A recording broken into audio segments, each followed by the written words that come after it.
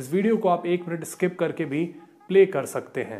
नमस्कार दोस्तों, कैसे हैं आप लोग? हम फिर से वापस आ चुके हैं एक नए वीडियो के साथ। तो गाइज़ अगर आपने अभी तक हमारा चैनल सब्सक्राइब नहीं किया है तो प्लीज़ सब्सक्राइब कर लीजिए और इस हमारी बेल आइकन को भी दबा दीजिए। इस वीडियो को लाइक करिए कमेंट करिए और अपने फ्रेंड के साथ फैमिली के साथ इस वीडियो को शेयर करिए।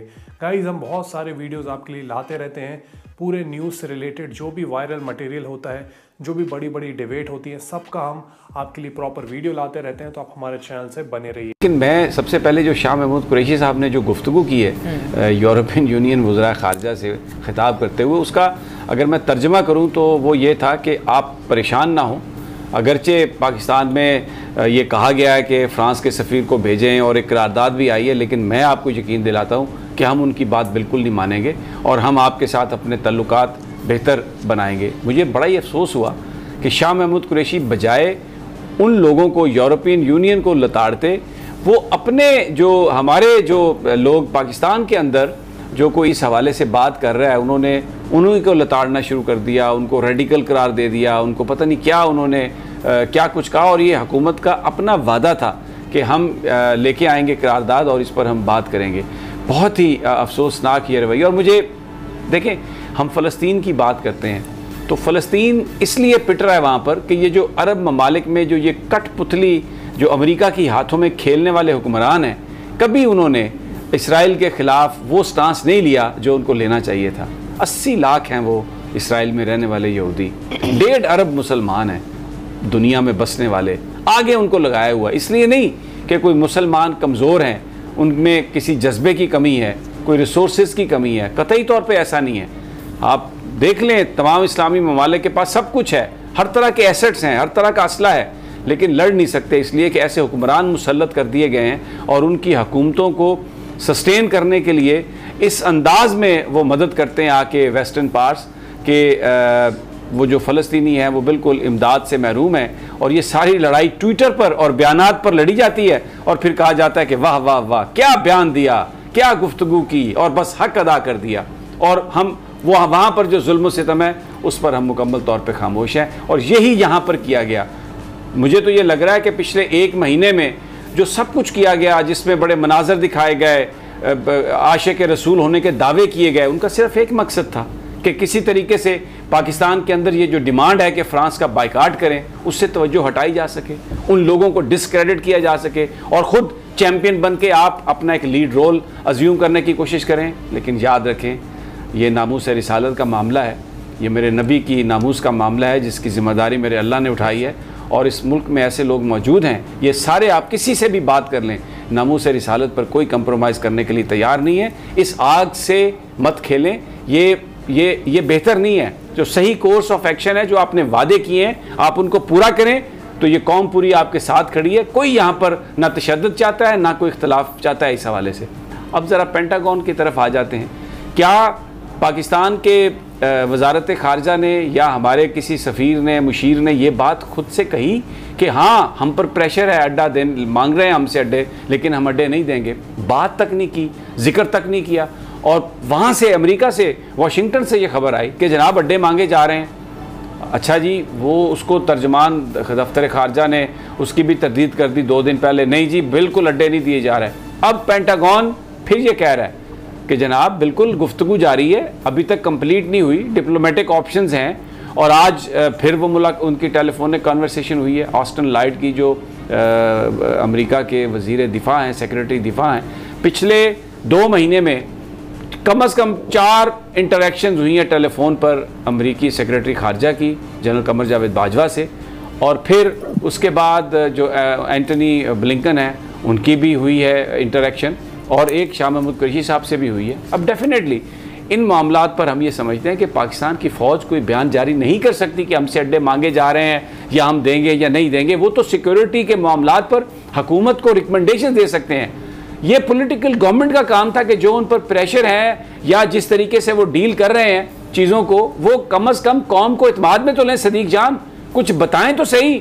यहाँ पे बिल्कुल खामोशी है, सारी खबर वहाँ से आ रही है। जरा ये शॉर्ट सुन ले एक, किरबी साहब का जो प्रेस सेक्रेटरी है, एडमिरल किरबी पेंटागॉन, उनकी गुफ्तगु सुन ले, फिर मैं सदीक जान आपसे इस पर कमेंट लेता हूँ। सदीक जान ये अमेरिकन ये कह रहे हैं कि जी डिप्लोमेटिक डिप्लोमेटिक टॉक्स हो रही हैं प्रोसेस जारी है, और अभी इनकन्क्लूसिव हैं, और जो रीड आउट है, इसके अलावा हम कोई आपसे बात नहीं कर सकते। यानी वो इसको डिनाई नहीं कर रहे। वो ये जो दफ्तर खारजा हमारा जो कह रहा है कि अड्डे नहीं दिए, ये तो इस तरह से कह रहे हैं कि जैसे हमने इनकार कर दिया, तासर ये दे रहे हैं। बट अमेरिकन आर सही हैं कि गुफ्तु जारी है और हमें इस बात का ये भी एक हमें इंटरेक्शंस की इतला है हमारे पास कि जनरल कमर जावेद बाजवा से आज भी जो सेक्रेटरी डिफेंस है उनकी बात हुई। तो हुकूमत पाकिस्तान को ये बात तो बतानी चाहिए ना कि वो जो डिप्लोमेसी हो रही है अड्डे लेने के लिए, वो कौन कर रहा है? कहाँ तक वो बात हो रही है? और क्या उसमें पाकिस्तान का पॉइंट ऑफ़ व्यू है? ये बड़े अहम इश्यूज़ हैं। इन पर पाकिस्तान के अंदर तो मुकम्मल तौर पर खामोशी है। दुरुस्त कहा आपने कि जो भी हकीकत है, वो कौम को बतानी चाहिए। कुछ तो हक़ हैं, ज़ाहिर है, सौ अरब डॉलर हमने कर्ज़े देने हैं बैरूनी दुनिया के और आपको पता है कि कौन ये सारा कुछ कंट्रोल कर रहा है। आई एम एफ़ के मामला हों, ये सारी चीज़ें, या एफ़ टी एफ़ के मामला हों, जिस तरह से पाकिस्तान के लिए शिकंजा कसा जाता है और पाकिस्तान को अभी ये एफ़ टी एफ़ के मामले के ऊपर शौकत तरीन साहब के साथ हमारा इंट्रैक्शन हुआ परसों जूम के ज़रिए। तो उन्होंने यही कहा कि एक पोलिटिकल एक इसमें मामला हैं, या कंप्लाइंस हमने कर दी है। एक दो चीज़ों के अलावा हमने बड़ी अच्छी जो है वो जो जो चीज़ें उनकी थी उस पर अमल दरामद किया है। लेकिन यह है कि कौम को सच बताना चाहिए, बजाय इसके कि बाहर से हमें जो है वो पता चले कि ये चीज़ मामला चल रहे हैं, ये चीज़ें चल रही कौम को आगाह रखना चाहिए कि, और अगर आपने देने भी हैं, पहली बात तो आप ये कह रहे हैं कि नहीं दे रहे।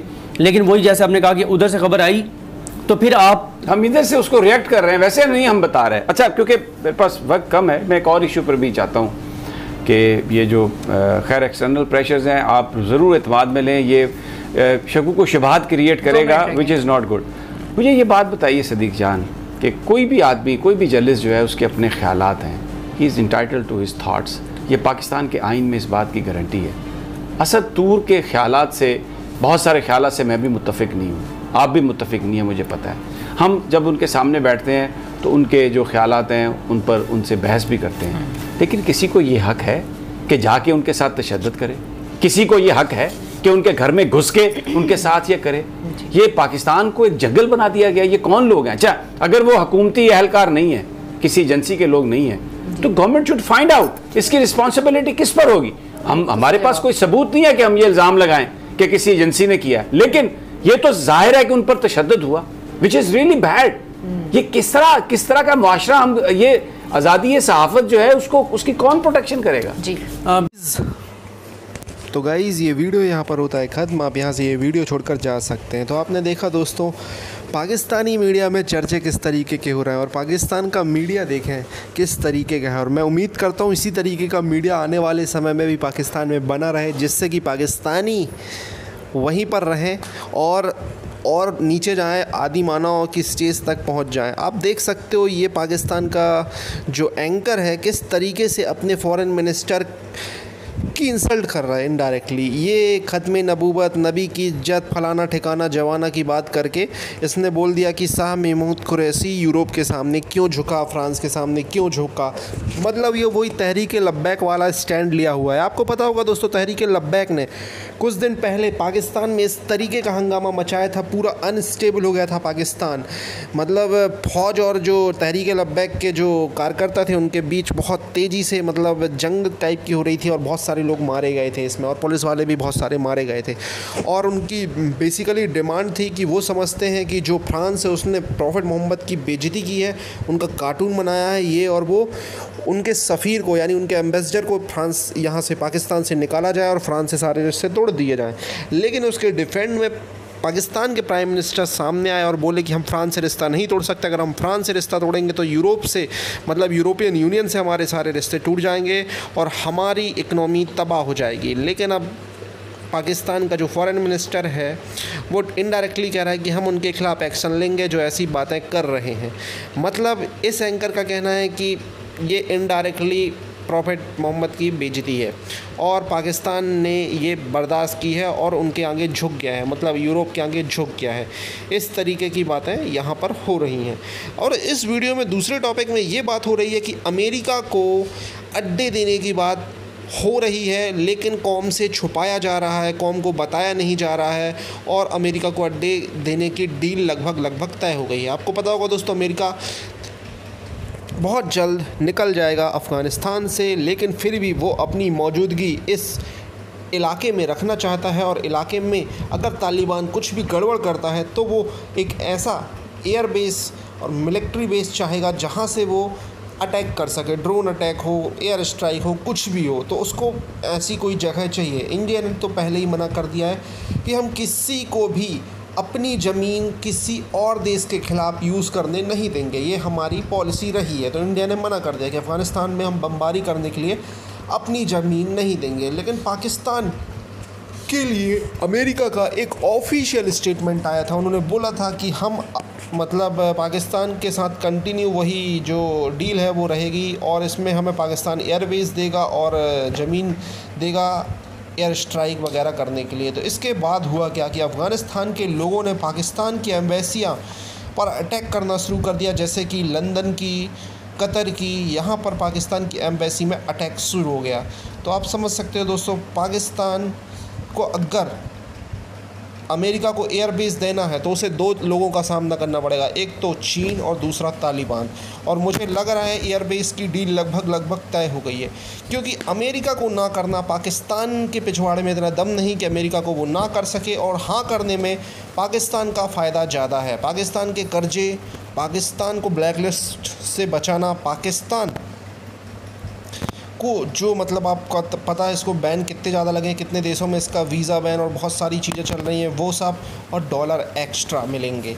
तो ये चीज़ें पाकिस्तान को फ़ायदा पहुँचेगा अगर वो अमेरिका को अड्डे देता है। तो पाकिस्तान इस मतलब इस चीज़ में ये चीज़ कर सकता है। अब उसे फ़िक्र नहीं करनी होगी कि चीन क्या करेगा, तालिबान क्या करेगा। बम विस्फोट, सहने की तो इनकी पुरानी आदत है, इनके, उनको कोई फ़र्क नहीं पड़ता, इनके देश में बम विस्फोट हो, कुछ हो।